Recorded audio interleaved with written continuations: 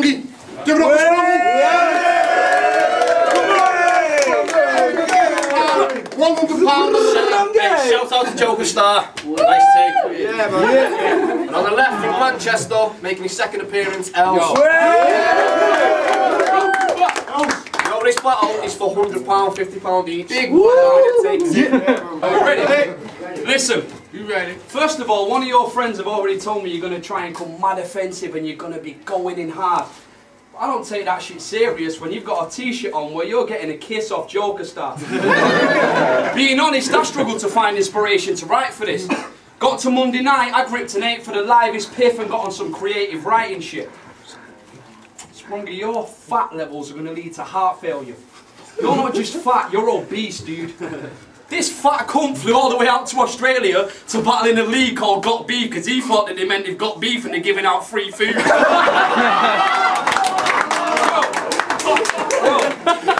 I asked Innuendo what he thinks of you. He said, to be honest lad, I don't like him he's a prick. Then I asked O'Shea what he thinks of you. He said you're a cokehead who snorts better lines than he can spit. That's actually innuendo. True. I've got too many. Yo, I've got too many lines recited in my mind that I can pick that'll expose who he really is. A two-faced, slimy, racist little prick. Why do all your clothes look like you get them in a sale? You've got the smell of a stray dog and the genetics of a whale. a lack of food would mean he'd suffer from depression if he ever went to jail, and it's kind of disrespectful what his mum wrote on his birth certificate. Paul Sprung, aka very, very, very epic fail. you don't get respected off no one. Stop living in them two shadow, have some self-respect, stop living off their rep and get your own one. Is it just me, or do you look like Balski if Balski had a shave and put a couple stone on? yo, yo, how much do you weigh, Sprungy? Like 20 stone, 19 if you're lucky, maybe 18. Looking like every time he finishes a meal he licks the plate clean. Time, time. Nah, no, that's one more, bro. Alright, alright, alright. Alright, the last time he battled the Scouser, this lad got destroyed. And oh O'Shea didn't even mention how your mum likes the black cock, Leroy. Why else would she give you that name? It's proper shit. I mean, maybe she's colourblind, or the complete opposite. What a bitch. See, your mum's a slag, she raised a dumb bloke, took you on holiday and gave a new meaning to sunstroke. that doesn't even mention how she likes a bum poked and the fact she goes down more than a sunk boat. What a fun hoe. She's got thunder flaps, struck them with me rod of lightning and he rumbled back. after that, after that, her pussy doubled in size. The fucker was wide, it looked like a tunnel inside. So I used my tunnel vision and punched the chin in. Then I walked out of the house fucking grinning because she's got the dumbest children. But I understand why people find you funny as fuck. I enjoy a good laugh at a retard too. You had me doubling up. But no matter what you say, you're in trouble, you cunt, because there's no way in the world you're as funny as Sprung. See, your mum's name's Jimmy and your dad's name's Rooney. your mum's got a willy and your dad's got boobies. Do you think that that's funny? I wouldn't even claim it to free. I mean, for Christ's sake, I wouldn't even say it was me. I'd probably admit someone ghost wrote the bar to be used the next time you're joking hard. But I know that it'll get you a cheap laugh, I can see that. But in my eyes, it makes you a weak twat. Now beat that. And you mentioned Joker Star, but he's as old as your ma. I mean, he poked the fucking ass and started smoking cigars. Let me break this down quick. Listen, after going on about fictional mum bars for nine, 80 seconds, he spent his last 10 talking about how that's not what he's gonna do. What the fuck's that about? And who the fuck are you, you chubby cheek fucking goo? now it's normal for a battle rapper to get aggressive and start talking that shit. But I can't take you serious when you're talking that shit because you're a fraudulent bitch. Not aggressive. Wouldn't even put a salt on a portion of chips. yeah. I'm fat, so I would. You're fat and you would, and your mum likes my wood. She's a crackhead. I sold her the same rock that Amy Winehouse had and it ended up not looking good. I'd boiled a kettle and poured the hot water in your face. Because your parents should have aborted you. From the second he was born, he was calling him a mistake. Paul was unfortunately molested and tortured when he was eight, but what's fucked up? Is your grandparents were the offenders, weren't they? Grandma played with you where your granddad recorded all of it on tape. now let's talk about how you're the only guy in Don't Flop that H-Bomb won't fuck. he hasn't. Lad, I listen, shagged H-Bomb. listen, I had a bet. He shagged H-Bomb and I shagged... He shagged H-Bomb and I shagged his mum so who's winning. listen, listen, listen, now Have you seen listen. Sure, sure while I'm spitting, listen. Listen, I had a bet with your sister last night that she couldn't fit my whole dick in a gob. Do you know why? She kept deep throating a banana trying to convince me that she couldn't. It was pissing me off. then she put her tongue on the tip of my cock, and I know now that she's good to work with no hands like a digital clock. Oh. You're a fat mess with lad breast. you stink. Where's your neck? He's got a face all swollen it always looks like he's got an abscess. Plus, your mother, your mother's a good hairdresser, but she's clearly not giving you a trim. Why are you sweating on your forehead? Joker star, I'll beat you up, you fat prick. Suck your mother.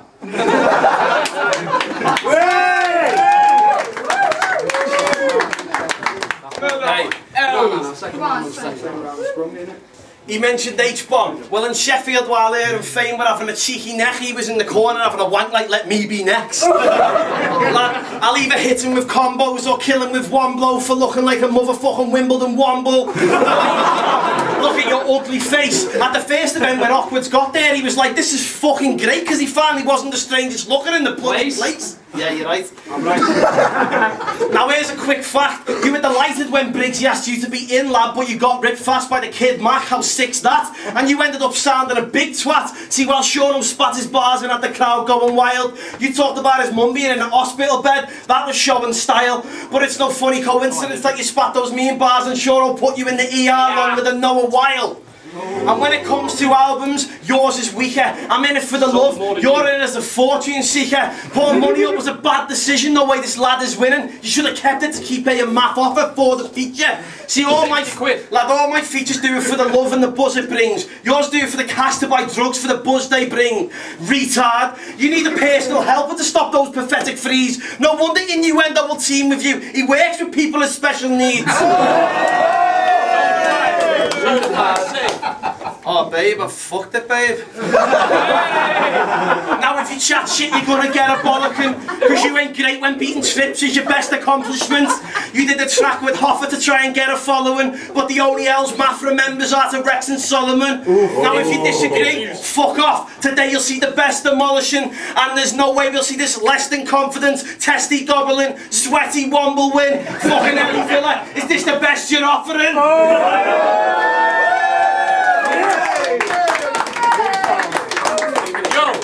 obviously when I fucked his mum, I had to wear Jorex.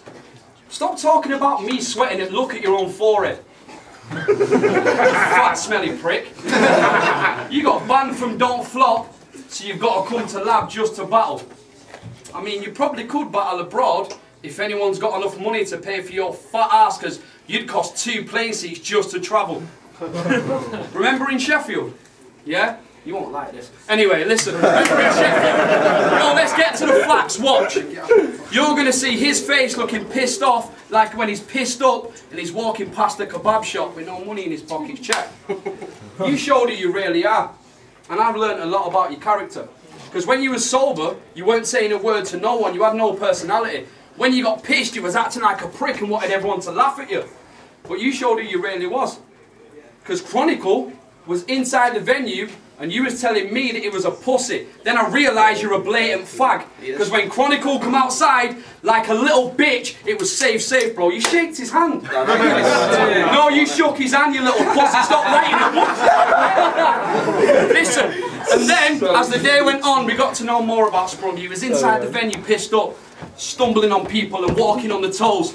And what was funniest of all, everyone seeing you was really at Fat Boy because you had cocaine residue falling from your nose. yeah? And then, when we went for a food after the battles, we went into the kebab shop. Me, you and Seasley. Me and Seasley were surprised that he went five hours without eating. and this is where you showed your true colours because when we got outside, you were whinging about your kebab. You probably don't remember this, but you were whinging about your kebab, about you didn't want cucumber. May we walked outside and then we seen your true colours. Because you called the guy that was working in there a smelly packet. When in reality, he was, listen, when in reality he was Lebanese. It's all good because I walked in there to apologise for Sprungy's behaviour. The guy said, Don't worry, bro. I'm not a Paki, I'm Lebanese. Then he said, It's all good because that fat prick hasn't seen his own dick since he was 17. so why do you spit so many racist bars? You said the Chronicles got the skin complexion of a terrorist. That's racist. You said that Nishi sounds like a Paki. No, I didn't. That's racist. you put on Shotty or a status that Pesky is a Paki. You're a fucking racist. I did. No, I don't accept racist behaviour. At the end of the day, bro, you're a fat mess. Look at your hairstyle. You ain't had a trim for about six weeks. You're a big geek. I'll bust a nut in your chick's face just to ask her how my jizz tastes. farmer. And you're more bitch made than an OG Nicki and Nicki Minaj collaboration mixtape. Mm. Spoke for two rounds about being me, me being retarded. Let's talk the fucking truth. If I'm retarded, what the fuck? Look at you! That's disability written all over in it. I ain't disrespecting disability kids. But your mother loves the thrill of my dick. I fucked her for five minutes and your dad was filming it. Horrible bastard. You've got red eyes because you've been drinking. And I can see his jaw sweating. Check this, this is some truth, yeah? You need to stop sniffing lines and drinking pints. Because if you read in between the lines, watch him when he's judging the O'Shea and Shotty battle. You'll see his eyes start bulging to a silly size, and every time he talks, the little sniffhead's head tilts to the side. you fucking bagghead.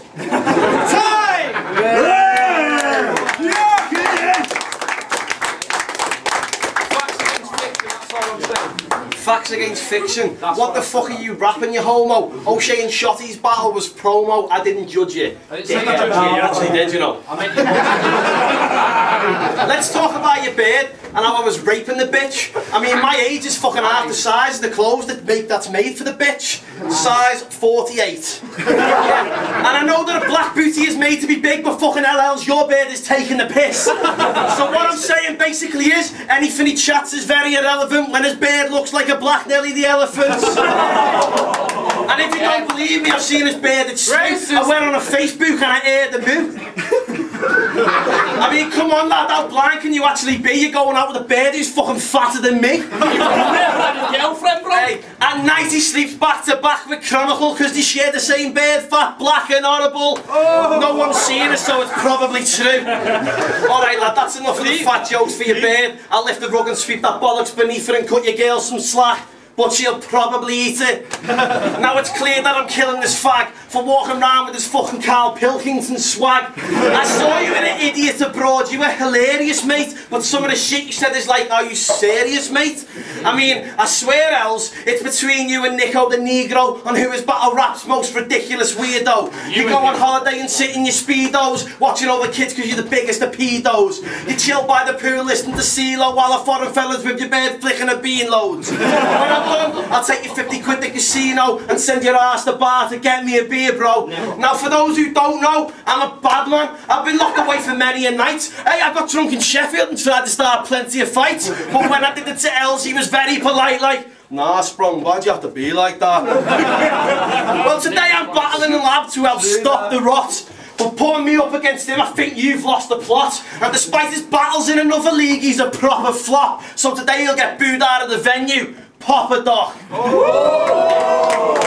And against O'Shea, you said he doesn't get paid and only battles. Well, let me tell you, lad, that was a load of babble. I mean, sometimes I can't believe the shit that he says. You don't get paid either. It doesn't help you bring in the bread. So what you need to do is get this in your thick little head. You pay travel costs, you battle lots, but you get nothing in return, so you're deep in the red. But that's okay, lad. You still pay travel costs. Oh, Makes me put that you pay for me when I drive there. I don't drive in your car, so it doesn't matter. that's, that's okay, lad, because you're a Liverpool fan, but we don't want Manx supporting Liverpool, man. I mean, I heard you were from the mean streets of Oldham. I mean, if I said that was a tough upbringing you there, completely nothing. but your mum used to send you out and be like, do us proud. You never had it hard as a child, but I bet based on your looks you do have now. And just, just so you know, I didn't have a bad upbringing either. Even though I was raised on the streets of Liverpool, the violence and criminal activity, I used to keep it minimal. But believe me when I say this last part's not for laughter, but if he somehow miraculously wins my 50 quid, quid I'll still leave with his because I'll rob him after.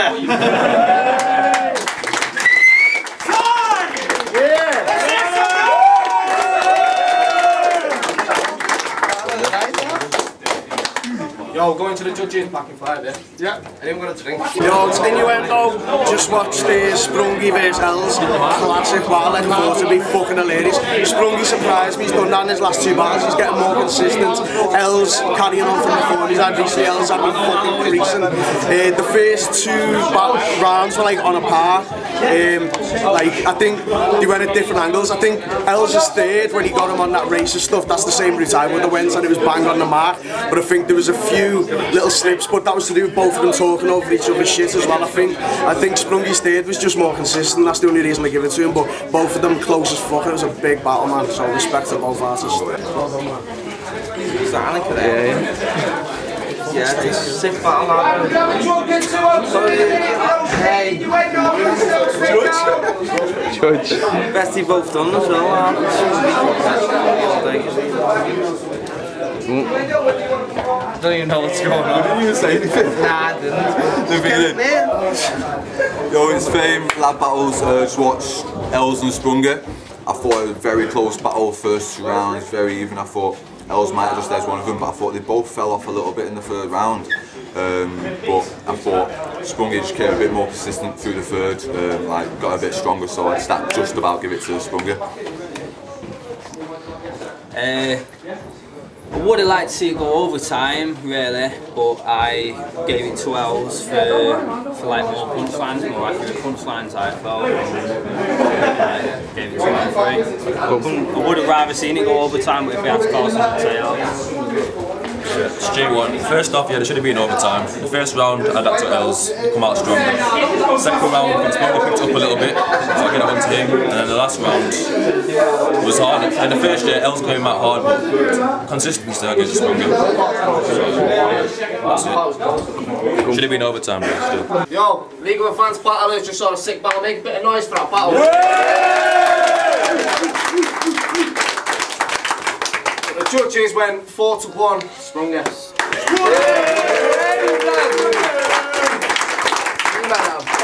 Can I just say something? Just before you like Go, start what? calling me biased, uh, we're calling them biased. It was a sick battle, and at the end of the day, Elz came fucking dope, man, and it was all love. We'll give him his 50 quid back then. And it was for money. Well done to Sprungy, man. I'm not being rude. Obviously, everyone's listening. It's not like I'm talking to a camera on my own. But at the end of the day, funny fiction nowadays in battles overpowers you. Get me the truth and that. So it's one of them. I don't mind. Ah, that stuff I wasn't don't true. mind. Fucking shut up and have a sing. All round and double the money. Let's do the judges.